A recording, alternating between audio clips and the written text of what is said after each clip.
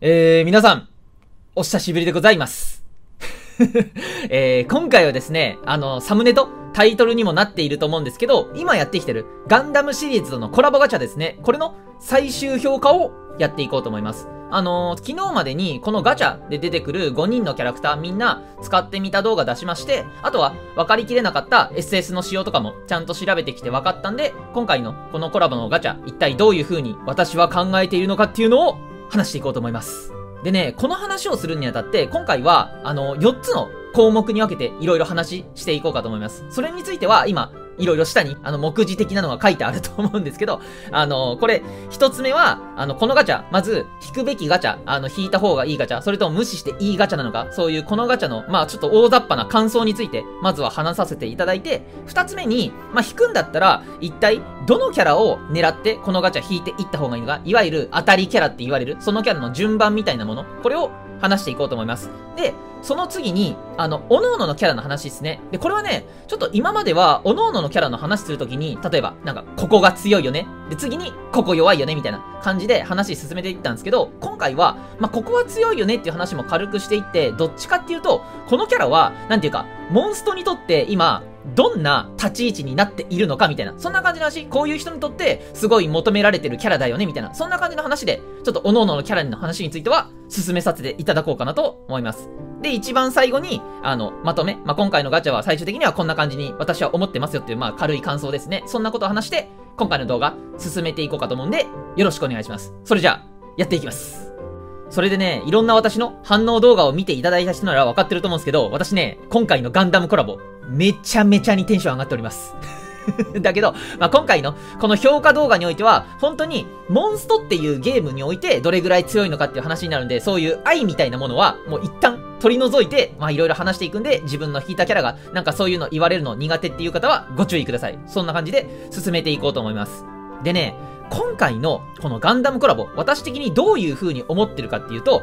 こんな感じですね。まあ、今回のガチャは、あの、3人、まあ、3キャラいるわけなんですけど、5、6のキャラが。みんな性能高いです。私、今までこういうコラボのなんかそういう解説動画みたいな話していくけど、それ、いろんなコラボ見てきても、かなり高い水準にいるコラボなんじゃないのかな。ちゃんと使い道もみんなあるしね。なんで、ガンダム好きっていう人は、全然もう引いても損はないんじゃないのかな。引いても全然 OK みたいな感じのガチャに私は思っております。でね、私、ガンダム別に興味ないっす、みたいな。ガガンダムなんて別に知らねえし、みたいな。いや、そんなのに興味ないっすわ。でもそういう人にとってどうなのかっていうと、それだったら、まあ、引かなくてもいいんじゃないのかな？みたいな。ただ、あの、カミーユとセツナっていうこの星4号のキャラはめちゃくちゃ性能が高いキャラなんで、まあ、持っておくとかなり便利そうな気がするから、これだけの4号の確保はちゃんとやっておいた方がいいんじゃないのかなっていうことで、まあ、好きな人だったらもう引いちゃっても OK。ただ、まあ、ガンダム興味ない人は、まあ、直面10連か特玉でカミーユとセツナは確保しておいた方がいいんじゃないのかなという風になっております。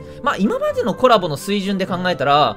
ワンピースとか、マドカぐらいにはあるかな。本当に作品に興味なくても弾けっていうワートリとか、スパイファミリーみたいな、ああいう本当になんか頂点に達してるようなそこまでは、まあ行ってないんじゃないのかな。第2弾になったらそれぐらいの立ち位置になりそうな気がするけどね。6体ガチャゲンになるし。それでね、まだ迷ってるっていう人も多分いると思うんで、そういう人は、あの、1月の26日かな。多分このぐらいには、あのー、コラボ期間内で最後のモンストの情報発表、モンストニュースがあると思うんで、そこまで待って、その情報を全部確認してから引くっていうのが、今、オーブ少ない人の何か賢い立ち回りのやり方になってくるんじゃないかな。多分そこで、2月の前半にやってくるコラボの、コラボじゃないや、あの、ガチャゲンの性能とかもいろいろ発表されると思うんで、そこは、あの、確認してから引くっていうのがいいやり方なんじゃないないのかなと思ってます。で、あと、もう一個ね、気をつけたいことがありまして、今これ、1月のコラボじゃないですか。モンストは2月も3月も毎年毎年コラボしてらっしゃるんですよね。だから、あの、全部のコラボを無課金で全部引きたいって考えてると、まあ、ほぼほぼよっぽど運が良くないと引けないと思うんで、何かはやっぱり10連で我慢するとか、そういう行為は必要になってくると思います。なので、まあ、そこは、あの、ガンダム、今、この性能だったら私我慢できるわっていう人は、待って、まあ、2月、3月にコラボも多分出てくると思うんで、その時にもっと貯めた応募を一気に放出するみたいな、そういうやり方でも全然いいんじゃないのかなと思います。そういう時に、まあ、トランザムしていただければと思いますね。で、あと、ガンダムムのこのコラボなんですけど、ちょこちょこ話もしてたんですけど、第2弾っていうのも結構期待できそうなんですよね。その、今着てるガチャゲンのニューガンダム、フリーダムガンダム、ユニコーンガンダム、これら全部重心化回の形態みたいなのも想像できるんですよね。ニューガンダムはハイニューとかヘビーウェポンシステムつけたり、ユニコーンは覚醒ユニコーンになったり、緑色っすね。あとは、フリーダムはストライクフリーダムっていう次の機体 そういうのもあったりするから、まあ別に新規のガンダムも全然用意できるんで、まあ第2弾のガンダムコラボみたいなのも全然期待できるんじゃないのかな売り上げさえ良ければ。なので、そういう感じになってくるから、まあ、本当に今回のコラボを逃しちゃったらもうマジでやばいよっていう感じにはなってないんで、そこ、第2弾見据えて今回は軽く引いておくだけに留めておくっていうのもありだと思います。そんなわけで、ここからは次の2つ目の話ですね。当たりキャラは一体誰になるのか引くんだったら、もうすでに、あの、今日は確かフリーダムガンダムのピックアップから始まってるんで、誰か1体が確率上がってる状態で、あの、これからのガチャはやってくると思うんですよ。だから、誰のガチャでピックアップしてる時に引けばいいのかっていう話を、これからやっていこうと思います。でね、この話するにあたっては、私ちょっと一つの分け方じゃ、そのモンストっていうゲームいろんな層がいるんで、分けきれないと思ってて、ちょっと二つの層で考えて、あの、当たりの順番考えてきました。で、その一つ目がこちらなんですけど、天魔をやらない人たちですね。まあ、モンスモンストの今、最高難易度になっている天魔の古城。まあ、これやるとモンスト嫌いになるんで、まあ、基本的に手を出してないっていう人が結構多そうな気がする。で、そういう人たちに向けては、私こんな感じの順番分けですね。まあ、一番、一番その持っておきたいのは、ユニコーンガンダム、近畿の28とか、近畿の高解層ですね。あとはプレデビオルで使えたりとか、もし、天魔ちょっとやってみようかなって思った時に、プレデビオルから、そのまま天魔の2の適正ゲットみたいな感じで繋げられるんで、まあ、ユニコーン持っておくと、今天魔、全然興味ないっすわっていう層にとっては、一番、なんていうか、有用なキャラになってるんじゃないのかな。で、その次が、フリーダムガンダム。まあ、天魔の26の最適レベルのキャラですね。現状ネオで友情コンボでぶっ壊されてるから、実はね、去年のまともな適正って、ネオ以外だと対抗棒しか追加されてないんですよ。今までめちゃくちゃ追加適正されてたのに。なので、ネオ以外の成功法で攻略しようと思ったら、多分フリーダムガンダムが現状最強レベルに役に立つキャラになってるんじゃないかな？割合とスピードアップとかいろんな役に立つものを持ってるしね。そういうところで、やっぱ持っておきたいキャラになってるんじゃないのかな？で、まあ、一番ちょっと下がね、私、この、やっぱりアムロ、ニューガンダムになってるんですけど、やっぱりこのキャラは、あの、天魔の4のところで、一番活躍できるキャラなんで、まあ、天魔をもし興味ない、やらないっていう人だったら、アムロはね、そんなにめちゃめちゃ出番は出てこないんじゃないのかな。一番やっぱ性能を従前に発揮できるのが天魔の4なんで、ここやらないっていう人にとっては、そこまでアムロ持ってなくても困んないんじゃないのかなっていうことで、あの、天魔やらない人たちにとっては、こんな感じの当たりの順番で私は考えております。で、逆に、天魔をやったりとか、あとは、もう今後やってくるクエストを一番最初に初回でクリアしたい、後からやってくる適性とかも、別に今考えてないっすって。もう最初から私勝ちたいんだっていう人は、こんな感じかな。あの、みんな一緒 本当に。あの、天魔やる人にとっては、やっぱり、ニューガンダムで天魔4の適性って本当に最適レベル。ニュートンアルファに、と肩を並べるかは、ちょっと人それぞれだけど、まあ、どちとにとっては、まあ、おのおのちょっと分かれてくるんじゃないかな。そんな感じで、まあ、二大巨頭ぐらいの立ち位置になると思うんで、アムロはやっぱり持っておきたい性能。で、あとは、フリーダムとかは、やっぱり、まあ、近畿26以外だと、基本的にはやっぱり転送壁の高スピアップ枠で割合も持ってるんで、あとは最近追加された、あの、ラムアルファとか、そういうところの、あの、同じ水属性で、あと割合もスピードアップを持ってるキャラと、全くアビリティが被ってないんで、まあ、ラムアルファとフリーダムガンダムで、もう、各々の対応アビリティが全く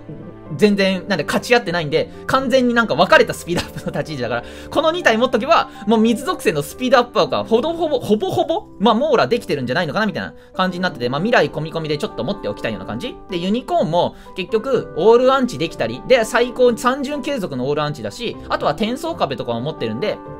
まあ別に近畿28以外を考えても、まあ、転送壁持ってるから、これからその転送壁プラスオールアンチで、これからいろんなとこ行けるんじゃないのかなみたいな感じで、まあどれを狙ってもいいような感じかな。だからさっきも言ったプレデビオルだったり、あの、天魔4だったり、各々の使えるところで自分にとって何が一番足りないのかっていうところを考えて、ピックアップしてるキャラを引いていけばいいんじゃないかな。で、全部足りてるっていう人は、まあ別に ガンダムのコラボ、本当にそしたら未来しか考えないようになるんで、まあ無視して次のコラボに備えて一生貯めておくっていうのもありなんじゃないのかなと思います。で、ここからは、各々のキャラ、軽く強いところ話して、現環境のモンストでどういう立ち位置になってるかっていうのを、みんなのキャラそれぞれ話していこうと思います。で、まずは、ユニコーンガンダムからですね。まあ、このキャラの強いところは、今ちょっと文字です。3つぐらい抽出して書いてるんですけど、やっぱり、この自強化2倍の強化が継続する SS2 段階目になると、まあ、追撃もそうなんですけど、オールアンチが3巡続くっていうのがね、すごい長いんですよね。あの、ネオの、やっぱり SS ターンチャージとかをするための環境で、結構いろんなキャラが SS ターンチャージとかもらってるから、多分今年もそういう流れは多少は続いていくと思うんで、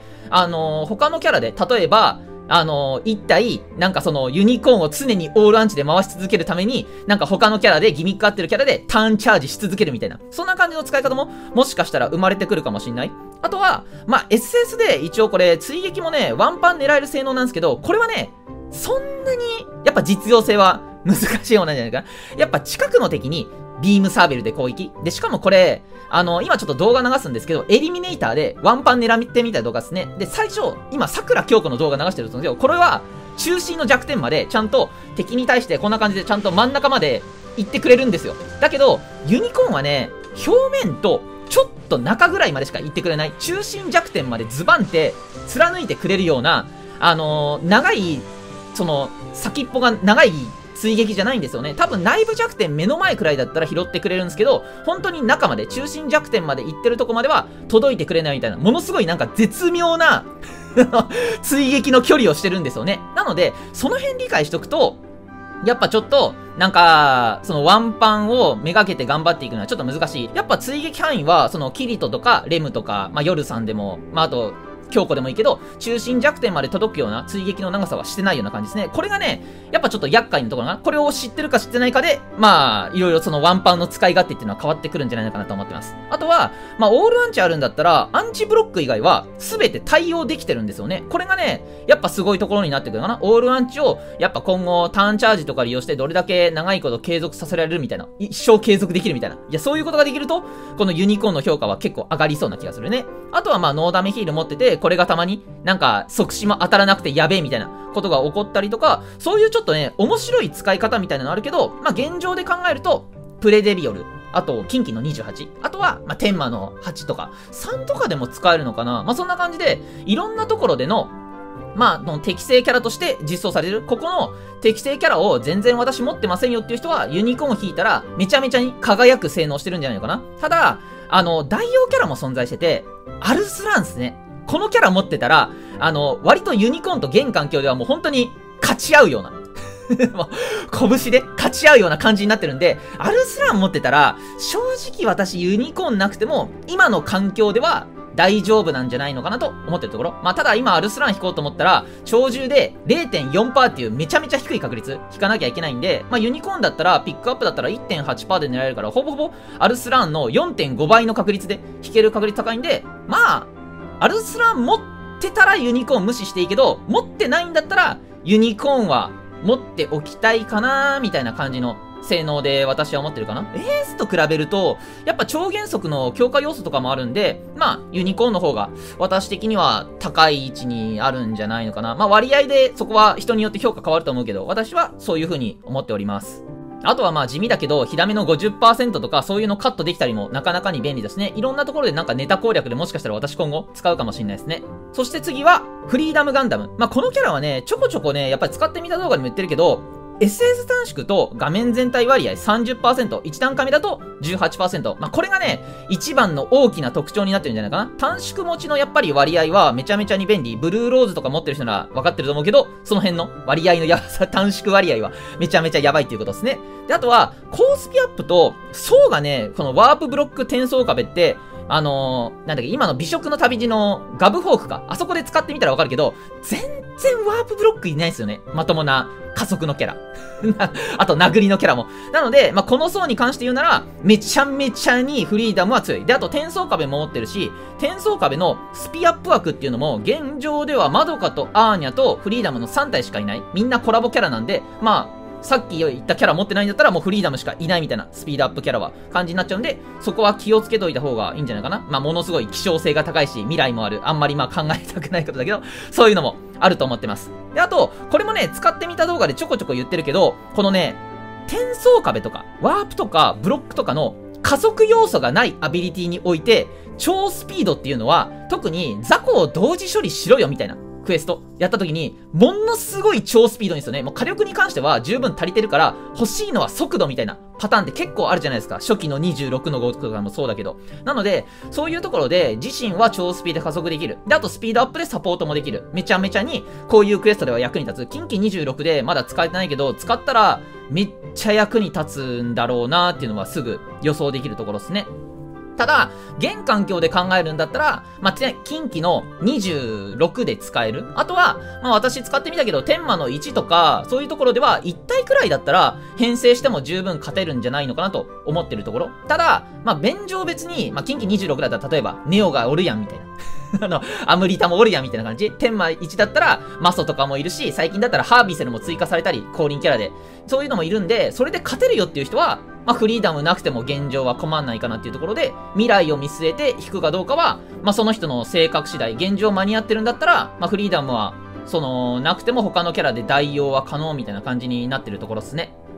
そして最後に、ニューガンダム。やっぱりこの人は、天魔の4でめちゃめちゃ強いですね。まあ私も使ってみた動画でやったけど、割合で確実に削ってくれるっていうのはかなり便利。あそこ直殴りあんまり通用しないとこなんで、やっぱり割合で確実に削ってくれるっていうのは一つの大きな強みになってるんじゃないかな。で、一応直殴りの倍率も攻撃できるんですけど、めっちゃ倍率低いんで、4倍とか3倍とか、まあ、いわゆるゾロみたいな感じですね。基本的に割合で削ることを主軸としてて、直殴りは、まあ、おまけみたいな感じで考えておいたらいいと思います。で、あとは、パワーオーラ、ネオに続いて2体目なんで、まあドレインとそのパワーオーラ、リジェネとかいろんなものも相まって、高いヒットポイントをものすごく維持しやすいキャラ。まあこれはね、やっぱ、天魔4で使ってても、ほぼほぼヒットポイントがね、低くなることないですね。まあ低くなっても即座にドレインで回復できる。まあこれやっぱドレイン M も相まって、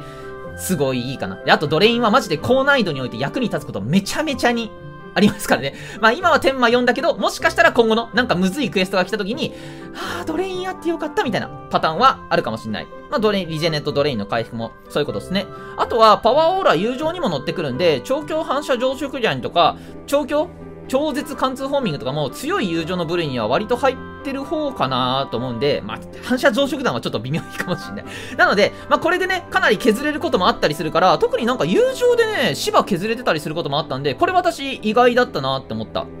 なので、そういうところで、やっぱ割合持ってるから便利そうみたいな。ただ、まあ、現環境で考えると、やっぱり、天魔の1でほぼほぼ使うようなキャラ。で、ニュートンアルファっていうライバルがね、いるんですよね。で、正直、ニュートンアルファ艦隊まで揃えられてる人だったら、まあ、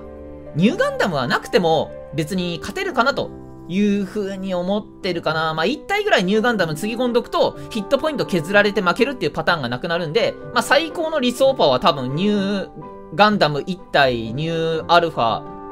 3体とかになってくるのかな。まあ、そんな感じで、あの、ニュートンアルファっていうもう本当に天魔4のために作られたようなキャラクターがいるんで、これらがいるんだったら、ニューガンダムは最悪なくても、まあ別に勝てるんじゃないのかな。持ってない人は、もう現状、ニュートンアルファ持ってなかったら、ニューガンダム以上に、ちょっと、ニューニュー言い過ぎだけど、まあ、ニューガンダム以上に強いキャラっていうのは存在してないんで、まあ、そういう人にとっては、ニューガンダムめちゃめちゃ役に立つんじゃないかな。なので、各々の手持ちにニュートンアルファがいるかどうかで、やっぱこのニューガンダムのなんていうか、引かなきゃいけない重要度っていうのは変わってくるんじゃないかな。持ってない人は、かなりね、持っておくと役に立つ場面、多いんじゃないのかなと思ってるところですね。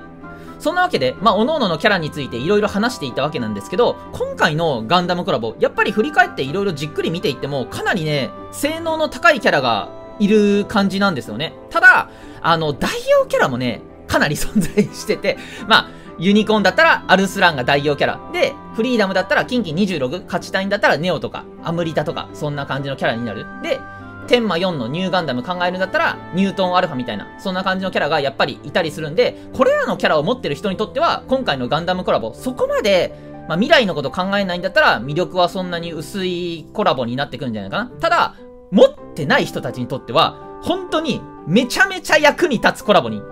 なってくるんじゃないかな。その代用キャラみたいなのが存在してなかったら、その次くらいにはやってきてるような人たちばっかなんで、もう本当に、まあ基本的にアルスラーも0.4%、ニュートンアルファは入手不可能。で、ネオも0.4%、アムリタも、まあ0.4%入手しづらい。なので、その辺考えると、これだけの高い確率で、その、入手できる強いキャラっていうのはかなり貴重なコラボになってくると思うんで、そういうところで持ってなかったらかなり引きに行ってもいいガチャなんじゃないかな持ってなかったら、他のもっとなんか本当にそのクエストで最強みたいなコラボキャラがやってきた時に全力でそれを引けるように待機しておくっていうのもありなんじゃないのかなというふうに思っているところですね。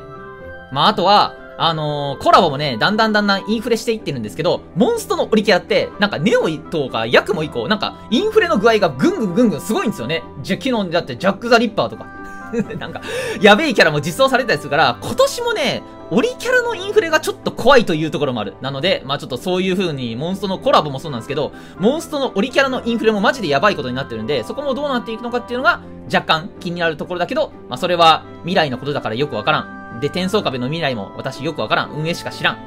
なので、その辺見せるかどうかは、やっぱりそこを初見で勝ちたいかどうかとかそういう風になってくるんじゃないかな。なんで基本的には、その今いけるクエストの適性を持ってるか持ってないかで引くべきか決めればいいんじゃないのかなという風に思います。なので、今回の動画、まあいろいろ、ちょっと初めて実写解説やってみたけど、まあそれの感想とかもいろいろちょっと教えていただくと今後、まあ実写でやるか、別になくても普通に画像だけでええかっていうのに決めていこうと思うんで、ちょっとそういう感想もよろしくお願いしますということで、今回の動画終わります。ご参考になったら幸いです。終わります。ごきげんよう。